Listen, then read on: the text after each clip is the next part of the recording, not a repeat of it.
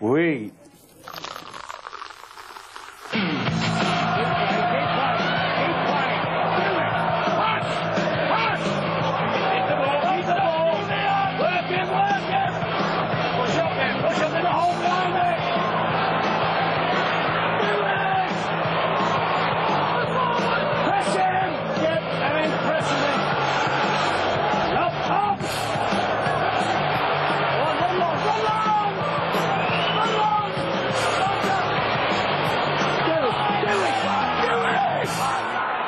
Cute one by Ron Atkinson. Well, he's been in the game long enough. Oh, oh, oh, it's an own goal! It's an own goal!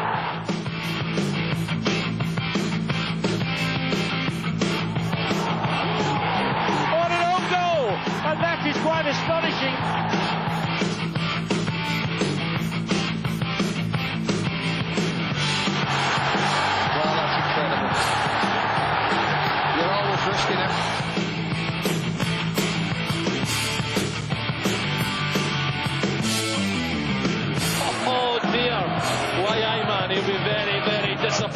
This one.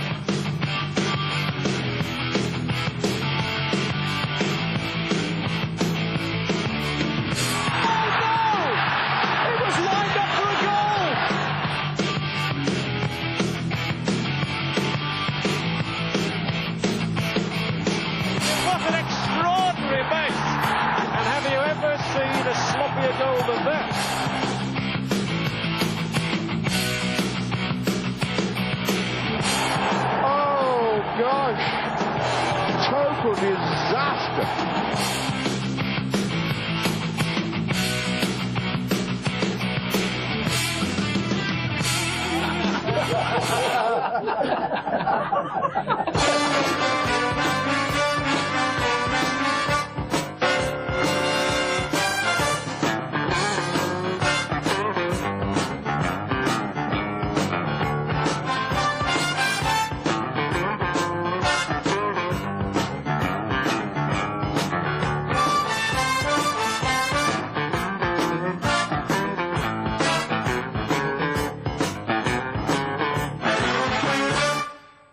This talk about football and all that, you know, with uh, people, you know, taking money and backhanders, uh, there's one thing about Ron. He's the most, you know, cleanest man in soccer. I would never take a backhander. In fact, when at Christmas, uh, Greenalls gave him a barrel of beer and he wouldn't drink it because he was a bung in it. I watched that video the other night, by the way. That's Sinatra, Sammy Davis, and Dean Martin. Is it as good as us? Well, no, no, no, but they're only human. They're only human. Who's the best singer? He is. He's the best entertainer. I, I, I'm a backing group. Ron Atkinson and his easy beats. That's what I used to call your teams. The easy beats. the vanilla, Aston Vanilla. Everybody licks it. Man. Everybody listens. Uh, you know what, how unlucky you can be. Yeah. I just signed a good deal with Frank Sinatra to be on his next duets album. For reasons best known, he can't. He won't. He won't do them like you know. That's typical of my luck, you know. Near misses all the while. That's that. I, I've felt that all with your singing career. You've been very unlucky. Very unlucky. Yeah. Is it my voice that makes me unlucky? It's a long way to go to Henry. You've got this reputation for being an oddball manager anyway, a bit eccentric. What about all these silly runs you make down the wing when you score? You never run that far when you played. what started all that? You're right. I don't know, mate. You know, I'm, I'm just a supporter at heart, and I get excited when we score, and I just do whatever I do. You'd been all right with me in my first month at the Villa. Yeah. Wouldn't have had to do much running that month.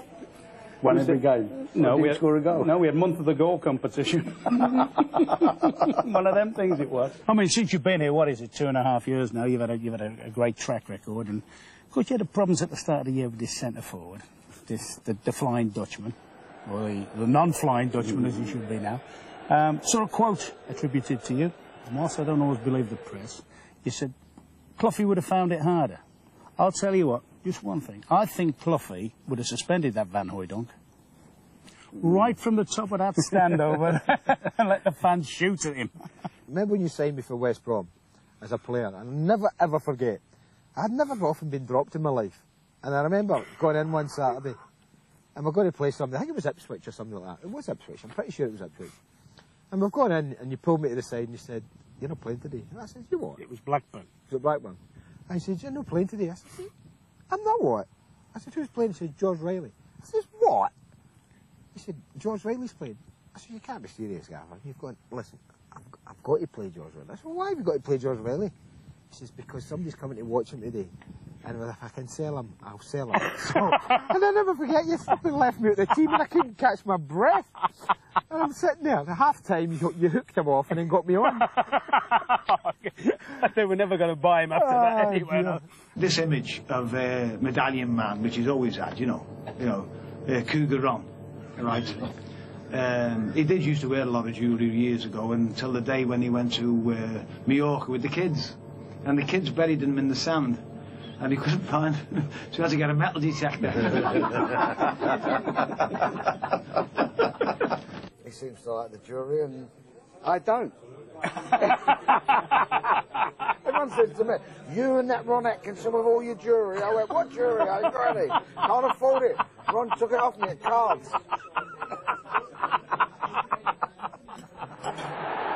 Oh, gosh. Total disaster.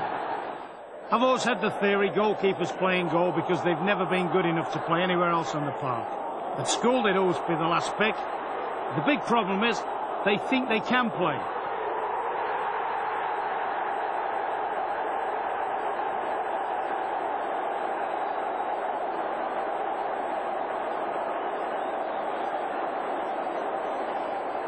Now here we see another facet of goalkeepers. Nice little back pass, no problem. Alan Kelly, oh lovely. Beats one, beats two. Oh, where's it gone? In the net. That wasn't Tony Curry. Now you've got to feel sorry for this fella. He's done everything right, measured it, serves him right. But look again, he measures it all the time in the world, no problem at all. Number seven shouldn't even be competing for it. Now he's looking for someone to blame. Now here's my old mate Prezi, who actually is a good outfield player, as he proves here. Good first touch, second touch not so good. Problems, Prezi.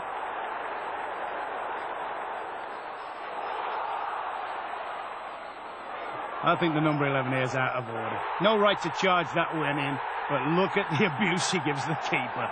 Not as much as the keeper will get when he gets back in the dressing room, by the way. Here's some first-class technique on defending a free kick. Well, almost.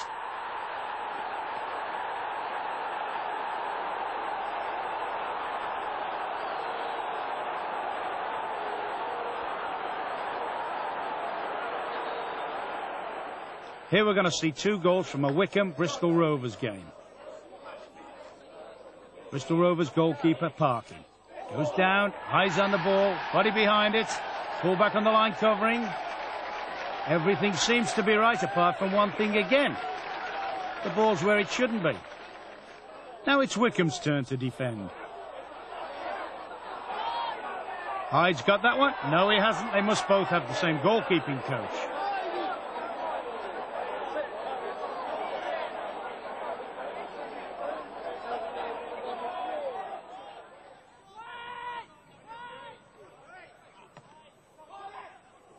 Oh, that was a real power shot, wasn't it?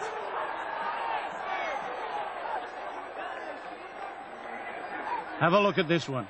Goalkeeper doing his best to make sure that he doesn't concede a corner. Brilliant agility. Look at the second recovery. Brilliant agility again. Oh.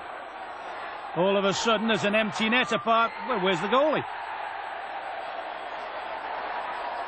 Now this is perfect. AstroTurf.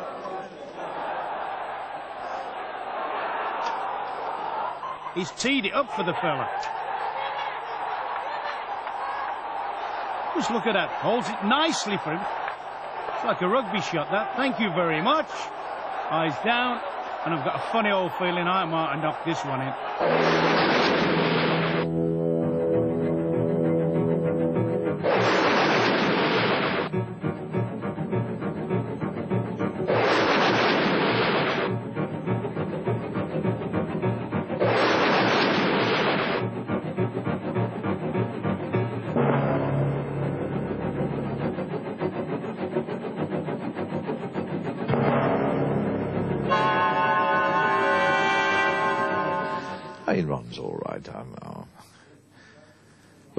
Right when he's asleep, anyhow.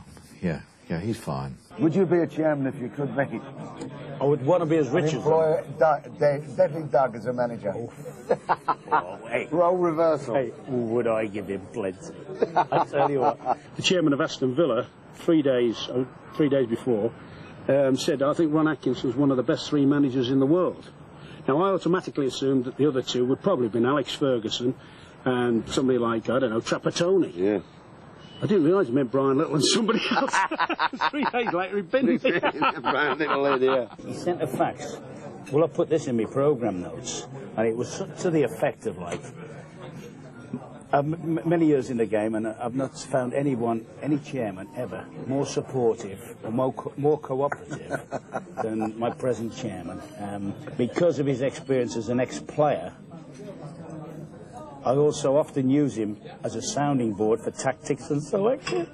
Sounding board. True, wasn't it? No, we called him the ironing board. Not the press did.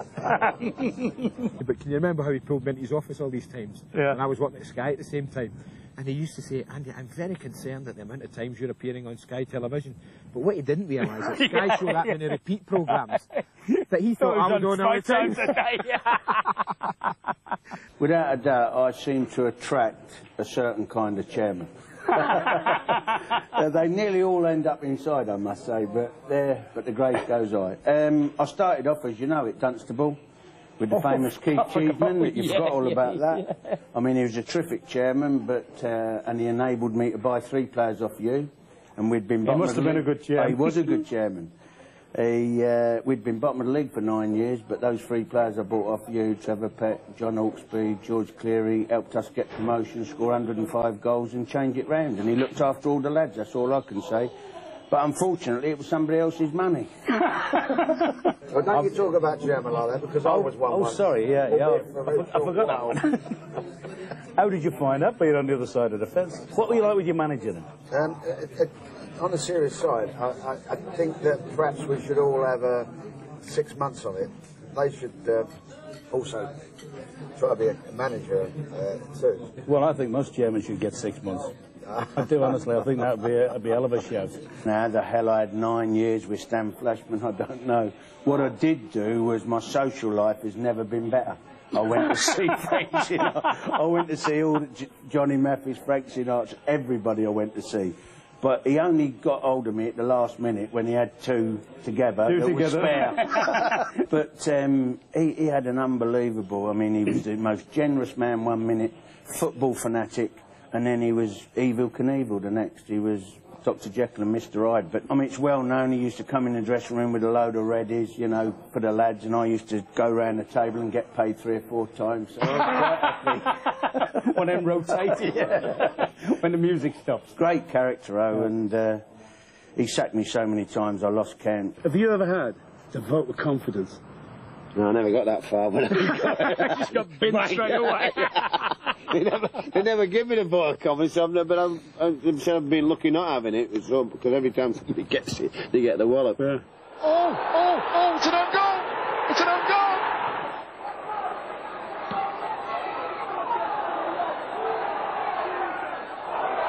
That lad from Fulham certainly not heading in the right direction.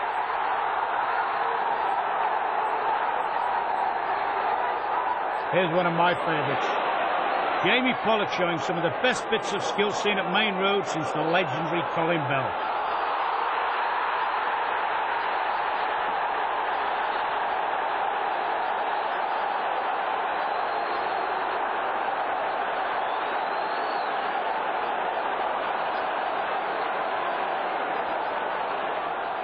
These next two clips feature the team from the other side of Manchester, the Reds of United.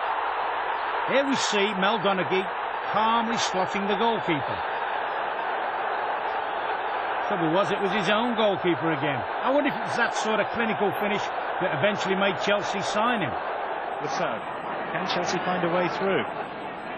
Well, Le Saux might. Well struck. And an own goal! Henning Berg.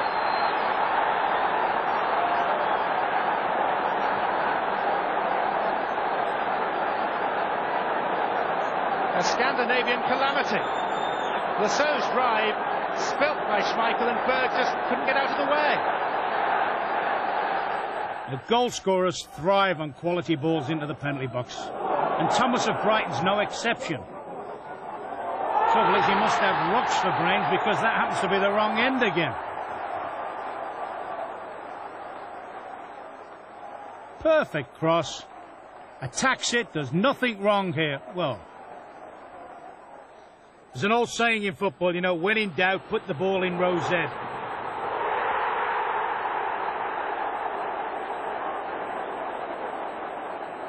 Experience can be vital in soccer, particularly in defensive areas. Watch Gary Shelton here. He makes no mistake. With Kevin Moran around, Glenn Hoddle certainly didn't need any help from Eileen Drewery. It must be moments like that when Kevin wished he'd stuck to Gaelic football.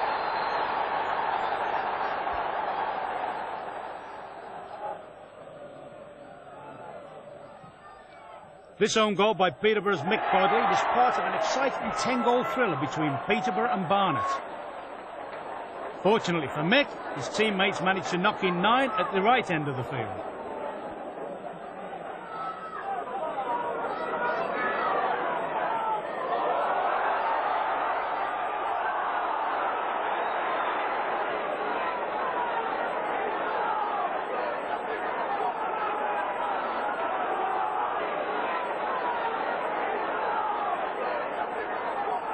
I'll leave this last one to commentator Hugh Johns.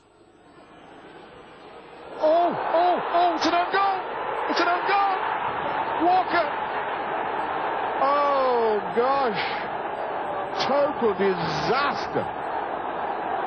Going back to Sheffield, you know, you did a few things that I would never have dreamt of doing. I do most things. I've done most things in my career.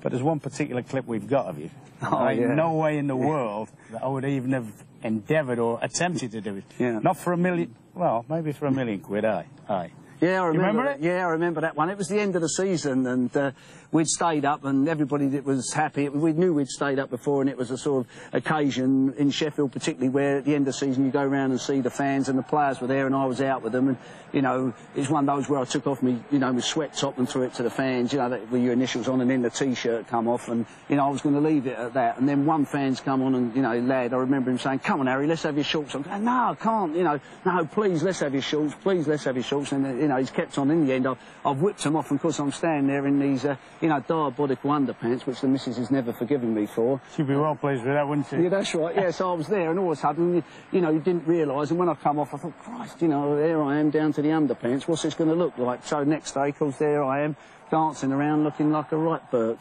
Yeah, we've also got a few snaps of uh, one of the young birds that, uh, well, younger birds at uh, Sheff U.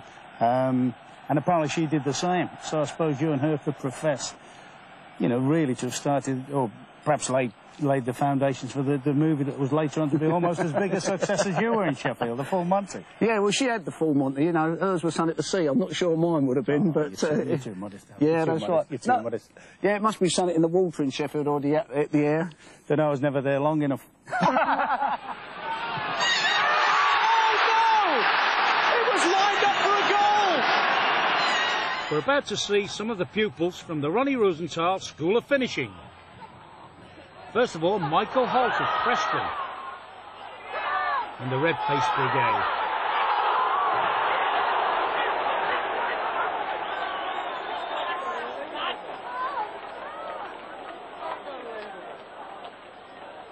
But there's more.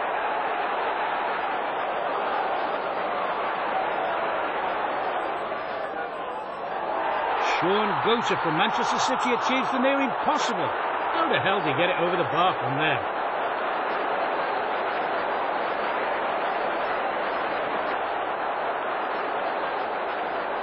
That might not be the worst. Have a look at Samassi Abou of West Ham. Now he's got a little nickname, Boo Boo Boo. I think there might have been booing then a little bit. Perhaps it was a bit far out. Now we watch Carl shot.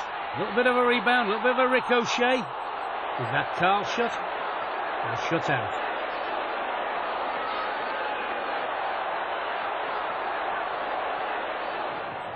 Now let's have a look at Blackpool's Andy Preece. Ball's in the melee. Oggy on a fast crawl manages to claw it back. But Andy Preece, from four yards out, should you have scored? Perhaps it fell to your wrong feet.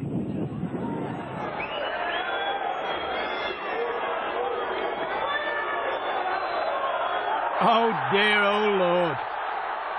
Now this is a certain goal, isn't it? Squares it up and in comes Rory Hamill, knock it. Oh no. Good job Kevin wasn't around then. I don't think you'd have lasted too long. You wouldn't have got your Christmas shopping at Harrods. Now just when Doncaster Rovers thought things couldn't get much worse, have a look at this. Now earlier we saw Steve Bruce all full of smiles, but football can be a funny game. Now Will Brucey plays cards right here. Bruce! Oh, he's missed it! Oh, dear me. Well, he'll have a laugh about that eventually, but not at the moment, because Cantona put that on a plate. Steve Bruce had made such a lot of ground to get into that position. Cantona goes away from Williams, low across the goal. How could he miss? Well, he did. Go on, what's the worst miss you've seen since you've been at this football club? Oh, we, got s- a, we got a picture of it. Yeah, it's coming back very vividly. Uh, I think it was at Reading last season, televised game, and uh, Steve Stone was through, and uh, he's just gone round the goalkeeper, and uh, he could have put it in with anything, and uh, Steve miskicked, and uh, you know it was all there to be seen. Van Hooydonk, great link up, the flag stays down, Campbell is onside with Stone in support, and Steve Stone wants his goal, no! It was lined up for a goal! He was really gutted about it, and uh, you know, and well, of course, obviously, you know, the boys ribbed him, and everybody's ribbed him, and I kept on saying that's going to be on television for years, Stoney. Great link up, watch Stone with the scissor run, and Campbell says, go on then, Stoney, stick it in, eight yards out, oh dear. Why, aye man, he'll be very, very disappointed with this one. Oh, he could even have taken a touch.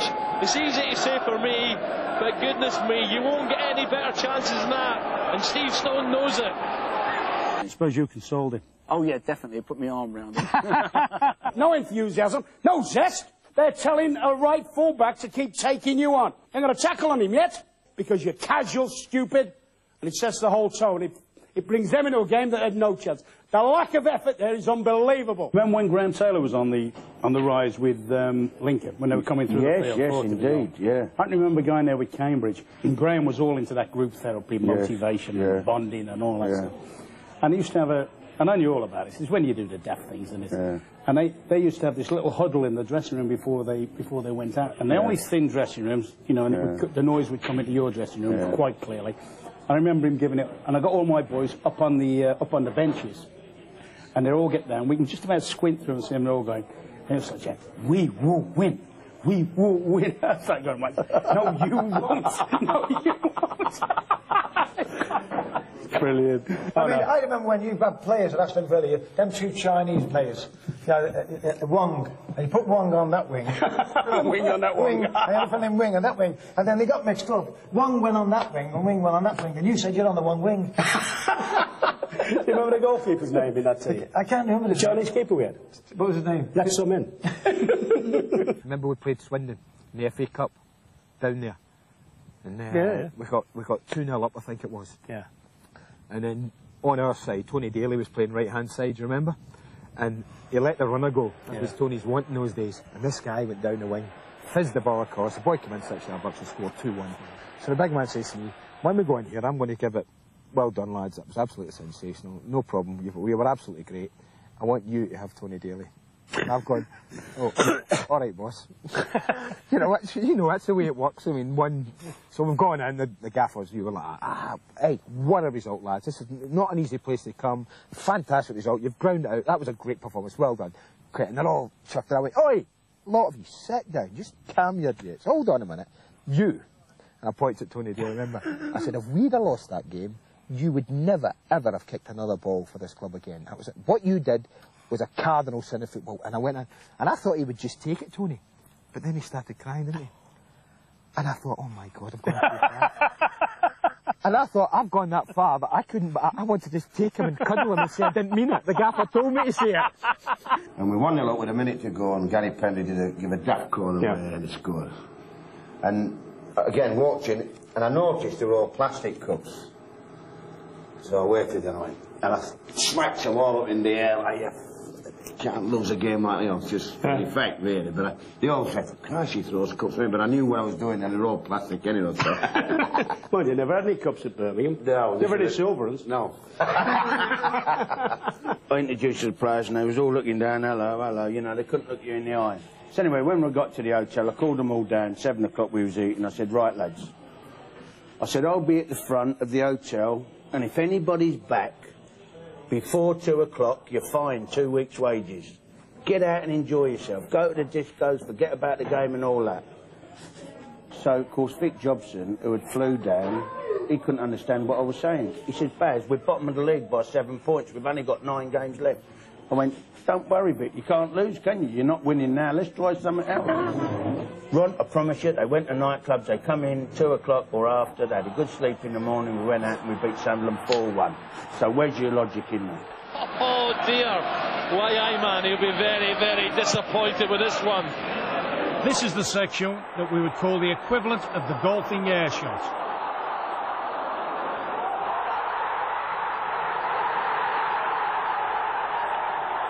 Bristol City can consider themselves so unlucky that there's a divot there. The problem is he's wearing a green jersey. Watch Nottingham Forest build this attack up. A long ball over the top, but there's Paul Butcher, no problem. Back to his goalie. Oh, there is a problem.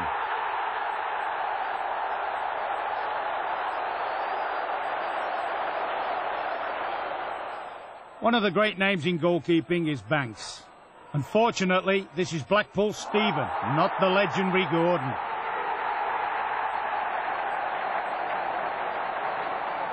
I love players with flair, those that can do a trick. But I think the goalkeeper of Lincoln, Barry Richardson's overdoing it a little bit this time, don't you? And you know, players can be cruel. Look at them taking the mickey. That's out of order.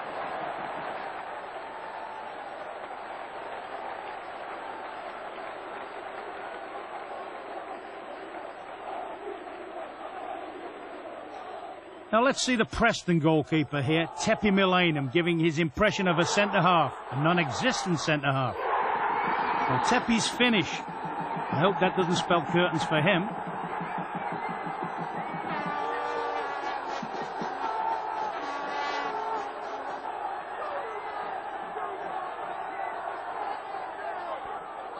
Now let's see Mark Prudhoe give his impression of a golfer's air shot.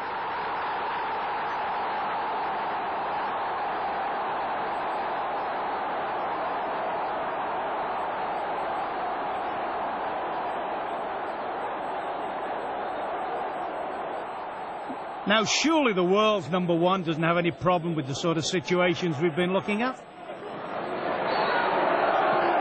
Oh, Schmeichel, John Hendrie, first goal against Manchester United for Barnsley. He's done it. Schmeichel, a real howler. Wow, that's incredible.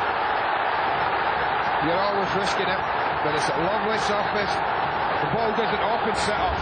I can only think this one does, Mark. He just it's on the half volley. Wow. You have absolutely no excuse. Even if you're a goalkeeper, it's on the half volley. It's what you would call a dolly clear. He just cuts right across it. Now let's take a look at this for teamwork. No problem at all at the moment. There is now. It's a big one. Now this is the sort of thing that gives managers headaches. Not to mention your own centre half. Now when there's an injury, you can always rely on the old St John's Ambulance Brigade. Oh, that's bad handling. Has he been watching our goalkeeping clips? Is he in the box around of it? That'll be the controversy tonight. Was he in or outside the penalty area? He's had enough. Oh, he's off. If he's out for Christmas, he'll certainly get a job in the local pantomime. Need a parrot on his shoulder, though.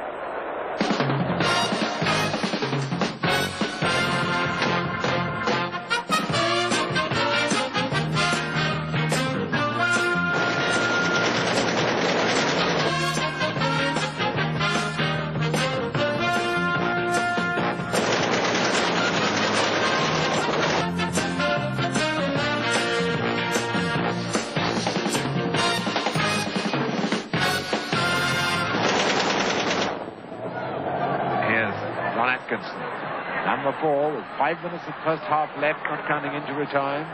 Oh, and he almost caught one unaware. That was a cute one by Ron Atkinson. Well, he's been in the game long enough.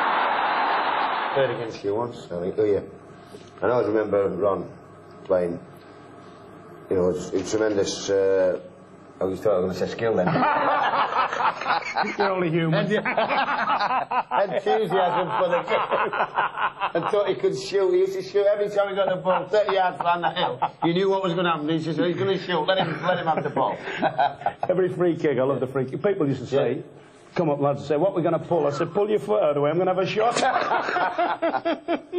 And Les Allen, the manager's son. Uh, Sancho's playing right back. He's watch him because he does that. Ron Atkinson uh, does this. And I said, no, he doesn't do anything. Who named you the tank? 'Cause I- We always said, oh, the tank's playing. Mine, I, I could tell why the size of him, man. He could have- done with losing a bit of weight. Well, Really, he'd been a great do, player then. well, nothing to do with pace. No. Um, well, the, the, the pace of a tank, yeah. Basically, I suppose it was my style of play. Um, swashbuckling, um, artistic, skillful. I've never known an artistic tank, have you? well, good for a tank, like. I know, I know you... By the way, Jim, if they ever called you the tank, I know that you'd be your capacity to hold, hold liquid. I hope, I hope them, them shorts are extra large. These are not proper shorts. Anyway. Hey, that's for Ron, not me. We're playing all the shot today. Smithy's in goal for Looks like, looks like something off the Benny Hill show.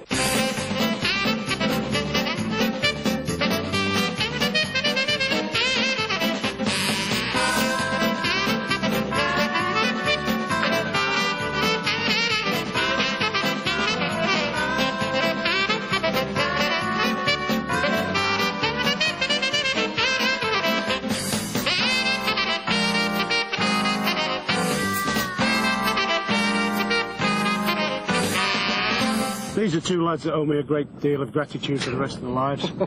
we were a midfield trio. Um, these were the two dogs in midfield. I was the artist. I was the playmaker. I was the man. But I couldn't have done it, well, probably would have done, but without the help of these two. My brother Graham and John Shuker, who, is a fine player, John. The only thing I've got against him was he broke my record of appearances at the club. Mind you, he's here 25 years, he was entitled to. Do you remember that game in 63, 1963, when it, one, of, one of your early games, Hugh, when I nearly played a bad pass? Yeah, oh no, I, I can't remember that. I actually took the blame saying it was a bad crossfield ball, but I knew people didn't realise just how slow you were. You were at the time, you were lightning slow, weren't you? You didn't have to develop. I developed a little bit, yeah. Yeah, yeah. I don't know where, but I did. The thing is, I never knew how fast Graham was, did you? No, I'm sorry, my own. Correct. Who started calling him the tank? Rommel. Oh,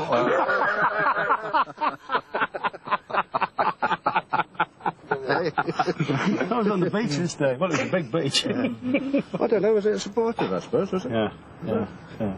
It was a sort of, it was a sort of adulation, hero worship, wasn't it? I Yeah. suppose that's the best way you can describe it. It was a team of endearment. Was it? it wasn't a spelling mistake, was it? What an extraordinary mess! And have you ever seen a sloppier goal than that? Coming up in this segment, a series of defensive mishaps that would send Alan Hansen and George Graham bonkers.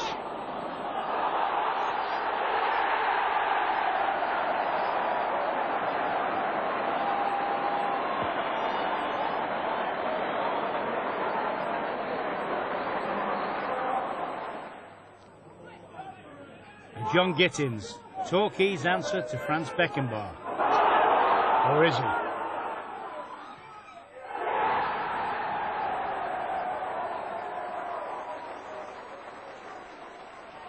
Now this is collective defending. Terry Venables' Crystal Palace against Barnsley.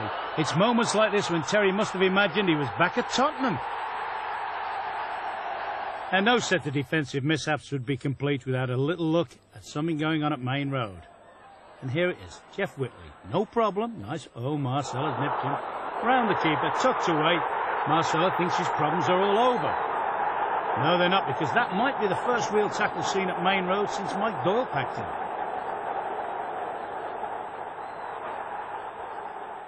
Now, there's no bigger fan of Manchester City than Stoke City's number two, Ali Pickering.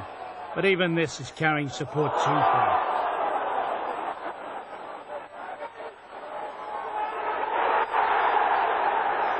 Next, we're about to see two crazy kamikaze pieces of defending by Sheffield Wednesday. Oh no, that's a dreadful mistake, and it's given an equaliser to Brian McClair. I said oh no because Paul Warhurst just did not see the lurking menace of Brian McClair, and the United striker has brought his side level within two minutes of Hirst's strike.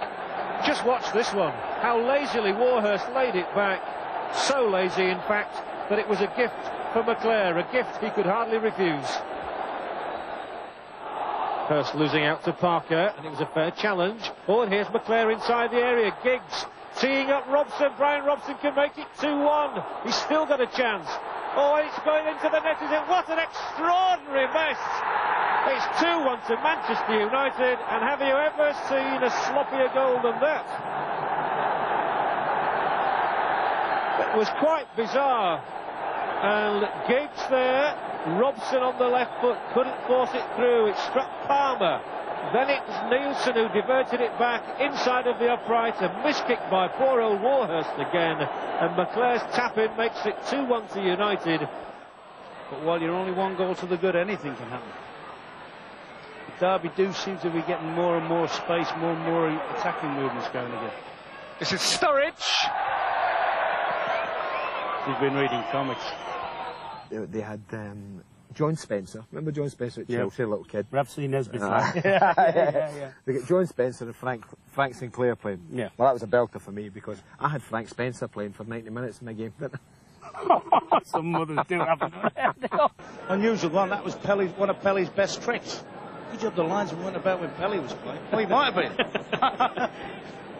I remember working with Ian Darke um, when we did the Monday Night Football. And you know how we'd always have these facts and figures. When Ron and I just basically do the game, our job is to, to look at it and, and discuss the tactics and, and everything like that. But of course, the commentators that sit beside us, well, the stats mad. Everything. They have a stat about everything. What he had for dinner, how many kids they've got, when they gave birth, what the weights were, who was present at the birth. They have all these. And I remember we were at Oldham one wet Wednesday night, and we're watching Newcastle play um, Oldham, and uh, somebody goes through against Mike Hooper, and Hooper's in goal, and he comes running out, out with his goal, and he blocks the shot, and he, and Darky launches into this thing, and he goes, "Oh, Mike Hooper, marvellous goalkeeper. He came out, he narrowed the angles, but he would narrow the angles because he's got a degree." And there was a pregnant pause there, and we were going, "Oh no, what's he going to say?" Well, he knows his angles, of course. Mike Hooper, he's got a degree in. Uh, is it maths or English literature? I'm not sure, but. Uh, Well, I hope it's maths if he knows his angles. nothing, nothing will ever match that again. He's got a degree in uh, uh, English literature, I think. All right, I will. He's my hero. Where's the where's the the noose? Darky, come back. Is there a pipe? Darky. and we've all creased ourselves. And you asked Steve Bruce about this. Steve Bruce was a guest, and it was about two minutes before the break. And for the whole of the interval, Steve Bruce was in absolute tears listening to this. So at half time, we'll go into the second half, Scott Sellars is playing, and Darky's going, and there's uh, Scott Sellars, marvellous educated left foot. And I said to Darky, well, what's that got a degree in? nice call, read the script. Nice cool and composed. Does the last one. Whoops. Tucks that one away tidy. We've talked about coming off after a game and somebody not knowing. Do you remember the one, the famous one with Gary Newbon at Leeds? Leeds Man U. Let's see. Alex, always a magic place to be when a team gets to Wembley, the Ah. winning dressing room. It's fantastic. Uh, it's, well, it's what we wanted all the time, and we've played so well all season. I think they deserved it today. They played the football, they kept their composure, and I think, you know, that we deserved to win the game. Well, it was a draw, but you won on aggregate, so we better not confuse people here. Uh, sorry, you won 1 0. Of course you did. It was a late goal. Just testing you. Let's just test you. Watching. I always remember that about Newbon. That was a belter. Here's a plum. It's just fantastic for us. It's going to be a great day. We're going to enjoy it. Actually, if we play like Mitchell Thomas here, it's going to be very difficult to get any sense out of anybody in here tonight.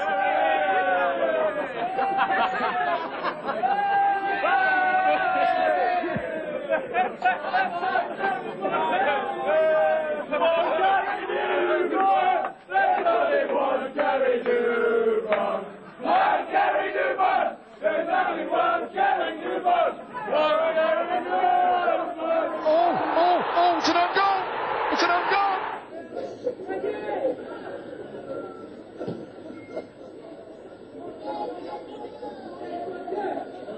Now, have you ever in your life ever seen an own goal from this angle? Beautifully judged by Billy Woods of Tranmere.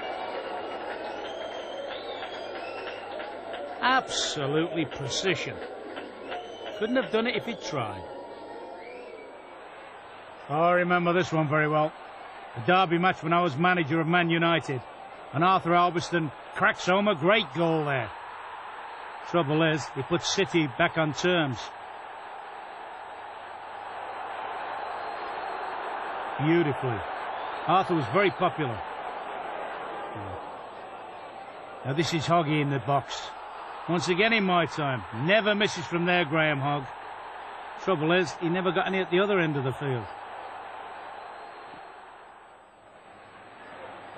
Now look at this for a classic. Another Derby goal. It's Jimmy Nicholl this time, but look at Joe Royle's attitude here. Joe wants to claim it. I've spoke with Big Joe about that. He swears he scored that. Joe was never going to be quick enough to get there. Now, when you think of goals, you think of a name Ian Wright. Great goal scorer. Anything in the box is usually his. Reaction, driven shots, reaction, and that's Ian Wright. Unfortunately, it's Ian Wright of Bristol Rovers scoring against his own club. Now let's have a look at this very clinical finish from Julian Hails of Southend. Ball's played wide. Hails is taking up his position. Gets there, tucks it away nicely. Why can defenders always score in the wrong end of the field?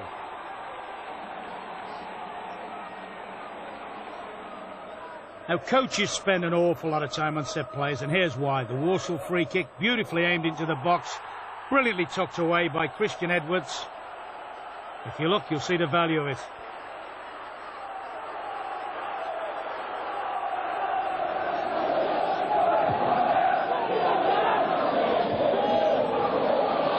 This is what they can do. They can apply pressure on an own goal. And that is quite astonishing because it's Ian Dowie who's not got a goal for West Ham in the league this season. But he's put the ball past his own goalkeeper, Miklosko, with a thumping header. It's an embarrassing moment for Dowie. A moment of utter glee for the Stockport fans. They come back within a minute of Dixie's goal. And it's Ian Dowie, of all people, he'd have been proud of it at the other end, but not at this one. The long throw there, away by Dix. It comes all the way back across, flicked on by Armstrong, and thumped in by Dowie, who simply seemed to forget which end of the goal, which end of the field he was at. Ian Dowie, own goal. There's a saying in football, if the ball is wide in the last third and you want to score a goal, attack the near post. And Carlisle's Jamie Richardson does just that and gives Bristol City a goal.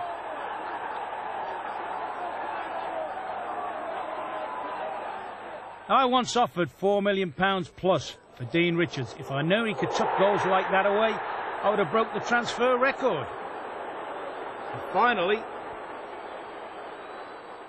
the original and still the best, the goal that made Everton's Sandy Brown a Liverpool legend.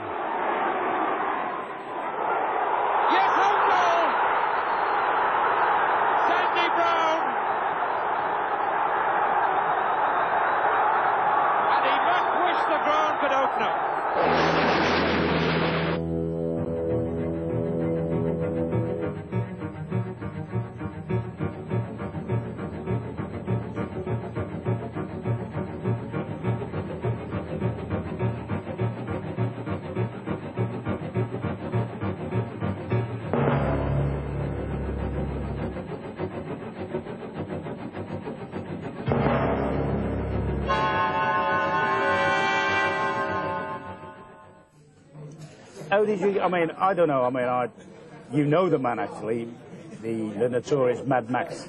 Jesus. Uh, Jesus Gil. I mean, you've met him, so you know him. I, I only did not meet him. I actually went to dinner with him, which was an experience and a half. And he was eating and talking and drinking, and, and everything was going everywhere. But unbelievable, unbelievable, unbelievable character. And it's probably, probably between the two courses, I bet it's sacked three coaches. I tell you, I was there. I was there. Somebody said, "What was, you know, what was it like when I was in Spain?" I said, "Well, I enjoyed the second week a lot more because I was getting the feel of it. I don't know what happened in the third week. I wasn't there that long. But when I looked at the number of coaches he'd had in the period of time he was there, I thought at the end of the day, I was there for about four months, and I thought I should have got a testimonial. I went home to get all my stuff to come back. You know, we were on a good run. We'd gone from bottom to sort of second top, a couple of points beyond Real Madrid. And I get a phone call from Colin Addison, who was my assistant at the time, saying, Ron, they just offered me a job. he only was spoke to you. That's right. He got a great personality. I mean, uh, whatever else, he walked into a room. I mean, full marks. He looks at me, he goes, ah, my favourite enemy. comes across and gives you a big. I mean, whatever else. That's a, that's a laugh, that's a like him. I do a lot of people greet you like that, don't they? Yeah. what with a big hug on my favourite enemy? Favourite enemy. well, I've had my problems with Chairman Harry. I've worked for a few one-offs, and of course you work with Sam at Wimbledon, who is very, very much a one-off. There must be, there must be some things about him. You know, there must be some amazing stories about him. When he came over, he liked to have a laugh and enjoy it. And he is, he's good fun, Sam. And I mean, he would come in, he, you know, I mean, he'd do crazy things like race the players for a sort of hundred quid the length of the field. You know, he'd, he'd want to To be fair, he'd beat a few of them. Yeah, that's right. Yeah, yeah. In the early days, yeah. I've got the Porn King, David Sullivan, terrific. No, with his partners, no. David and Ralph Gold. Yeah. They're, they're three super fellas. Uh, Dave, the two David, Sullivan and Gold are, are football fanatics. Ralph's a boxing man. But they're terrific people. I was And, told um, the thing that drew you there, actually, was when he said, I'll get you centrefold in one of his magazines. That's what I was told. I'll tell you a story I was told about recently. I think it's the kid Roberts had gone there from Crystal Palace, and he rang up to find out what sort of car the kid's got. And I think, I think he got something like a BMW convertible. So Sam apparently crept up next day, sees a BMW convertible in there, nicks round, lets all the tyres down. As it goes away and there's a little giggle, all of a sudden Roberts comes out and jumps in a Clio or something like that. when there's somebody else at Birmingham though. Uh, somebody like... Yeah, the you know, MD, Karren Brady. She was. Um, she would have sacked me every day for the first year. Oh, my, hang on, she wouldn't have been on her own. There's a lot of chairman would have done that as well, honest. Be honest with yourself. But I mean, um, Karren was brilliant on the other side. She had a difficult job. Young lady coming into football. The other side of where? Tr- trying to rescue Birmingham, Yeah. who, who had tremendous potential, but really it was a Kazi. It, the place was falling to bits. To be honest, when I got the sack, we got on famously, so perhaps that's why I got the sack, I don't know. How are you at Man United? That's the best tip. I walked in the dressing room and my boots weren't out. and there was a message was Martin Edwards wants to see you. I thought there's a clue there somewhere, yeah, yeah. Oh, gosh. Total disaster. They say you've got to be mad to be a goalkeeper, but certainly a few keepers have sent managers round the bend, particularly with juggling acts like this of Mark Prudhoe of Stoke City.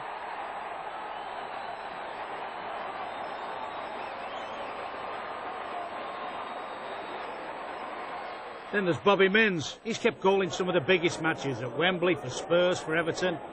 But maybe the sun's a little bit brighter at Mansfield.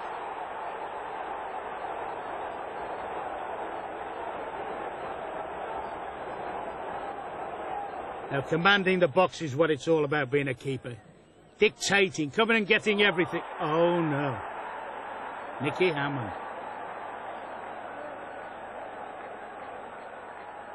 Look at that. He's got both hands on the ball. Unfortunately, he's punched it the wrong way. Now, I remember this one very well. One of my first game for West Bromwich Albion, and Tony Godden showing how poor he was in the air. I mean, he's made the save. He should have headed it round the corner.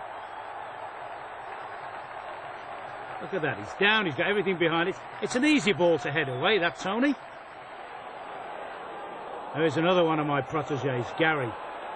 Pushes it up over the bar. Oh, no, he doesn't. Stevie Archibald takes full advantage.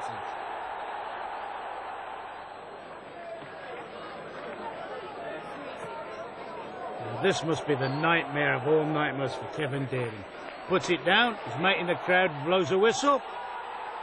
No, no, come on, ref. Gives it back. Surely you blew. No, he didn't.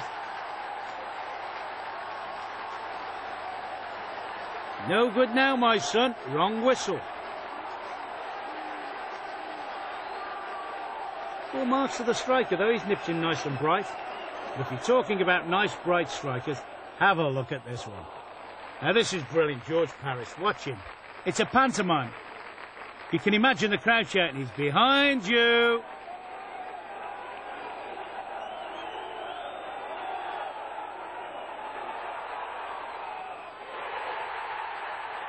That might be the cheekiest goal you've ever seen.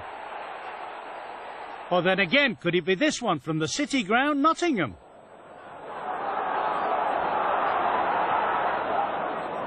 Here's Parker. Crosby coming round the back, and Dibble got it at the second attempt.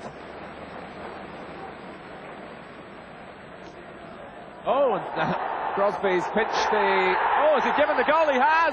My word! Gary Crosby! And Dibble is livid! And Manchester City have surrounded the referee, Roger Gifford. This is what happened. Well, the ball was only resting on one hand. Was it in his grasp? The referee said no.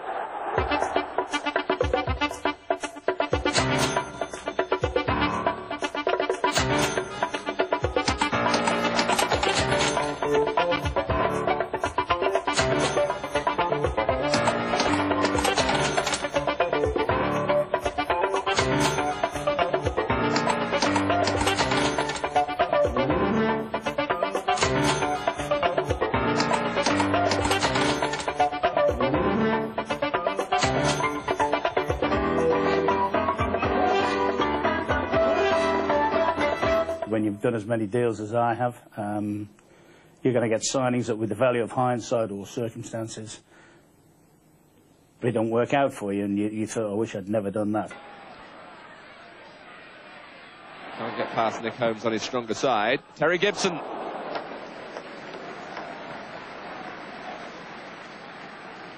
It was an imaginative effort. I mean, little Terry Gibson um, comes into that category. I mean, to be fair Terry, he'd been a smashing player. He did very well at Coventry, played in the cup final at Wimbledon, so, you know, he did very well. But Old Trafford was just, I felt, was too big for him. In fact, I think sometimes a BMX bike was too big for him. Uh, but he, used to, he came into the club as if he was an autograph hunter. The one I always remember, I'm sat in this office down here at, at the Manor and one had been in London, and he popped in to see me for a cup of tea. And I'm on the, I've got, I'm on the phone to Peter Bodak, who's got a free from Coventry. As I do, was uh, uh, here down in Oxford, chatting to him. Yeah, he said, what you doing? I said, I'm trying to Peter Bodak, man. He goes, can I have a word with him? I said, go on then, have a word with him. He said, hey, Peter, we're coming to Old Trafford tomorrow and have a chat with you. and he, he made his mind at the time for United, or the wrong United, Man United. That's for United. I know. The trouble, Remember? Hey, by the way, I did you a favour there. Don't you worry about it. But that went on a bit long, you know. He came, and he, he was a cocky character, Right, wasn't he, when he was yeah. in, what he used to say, um, Peter Bodak have goals. Yeah, something score will, goals score yeah. go- have goals will travel, or Yes, something like yeah, that. yeah. Well, they didn't travel up to Manchester, that's for sure. Bodak over the ball and Kevin Bond. Bodak hitting the bar. Away by Thomas. So you saw him in the City? Well, that was funny. It was ever so funny. Like, he's gone in, and Bondi was on about him. For whatever reason, Bondi wanted him. And on the Saturday night, I'd been out with Bondi, and he got he got a black and white, but he had this nice black and white tie that I'd always fancied, you know. And I, to, I said, oh. So he rang me up. He said, would you let Bodak go? I said, well, I'll tell you what. If you let me have that tie, you can have him. and he said, go on then. Go on, you can have that. So what I did, I walked in at the canteen. The boys had been in the gymnasium at Manu playing, and the boys are going barmy. Stapleton and uh, they're slaughtering Peter Bodak, who's obviously had a nightmare in the five or so, and they're slaughtering. And I said, well, if that's the way you feel, lads. And I walked out, I called him back in and said, Peter, you've got to go to Manchester City. They want to sign you. Then all of a sudden, Stapleton and went, Gaffer, no, it weren't that bad. Like, Can you remember the first time we met in Sheffield? Yeah, I can. We, we was down the uh, Toyota dealer getting our cars, and uh, you know I was uh, getting the club car. They were sorting out a Camry for me, and uh, I remember you, me saying to you, what you doing down here for, for, and you said, oh, we're getting a Toyota Supra for Carlton Palmer, and I said to you, well, that won't be a bad swap. Oh, yeah, yeah, yeah. Actually, we got we had to pay money as well. and That's what did me. I didn't mind the car. We had to give a few quid as well. Yeah, yeah. What about when I transferred you? Ah, I remember that. That was funny. I was sitting at home. He's 47 at the time. I wasn't that old. Well, I was old. I was sitting at home and was, the if, you, phone if went. you'd have been a horse, you'd have been Aye, shot. I'd have been Your shot. knees were like Yeah. whatever. But it's funny. You phoned me and said, uh, I've sold you. I went, oh, thanks a lot, boss. That's hell of an ace. He said, who have you always wanted to play for? And I said, what? Barcelona, Milan, Real Madrid, I was even high. Man United. Oh. Oh, really? And then at the end of it, it was in Glasgow Rangers. Oh, yeah, yeah, yeah. that was a belter. You wanted to buy Billy Baldry off me, a young left back who had Correct. done well for us in the fourth division. Yeah. But when we got up into the third, because he was part-time, he was working That's at Vauxhall correct, Motors, Vauxhall Motors, he yes. wasn't quite up to it. No. The board had also said to me, unbeknown to you, you know, Billy Baldry, he's not much use to us now, Ronnie, not going to play. Why don't you just give him away and get him off the wage bill? And I'm trying to get two grand out of you. Go on, you tell your part of the story there. That's the Thursday. Right. When I rang you. I got a phone call and no, it was a, it was a Tuesday. I thought it, you had a game that night. I got a phone call and you said Do you still want Bill Baldry, and I said Ron, I'm desperate for him, but I can't raise the two grand, mate. So you said to me, if I fetch a crate of champagne over to your game that night, I can have him. So I shot out to the cash and carry, got a crate of champagne, picked George Cleary up, who lived, who played for you and uh, and I, shot down to Cambridge. Ron, here, mate, there's your crate of champagne. Basil, he says, I can't do you. I'm overcharging you. Have two back. you don't get honesty in the game like that anymore. I got to tell you, Baz, to be honest, I didn't give you enough change. So there's a bit more. You're a gentleman, mate. Look at that. Such a class and all. And there's a bit more change for my. Brilliant.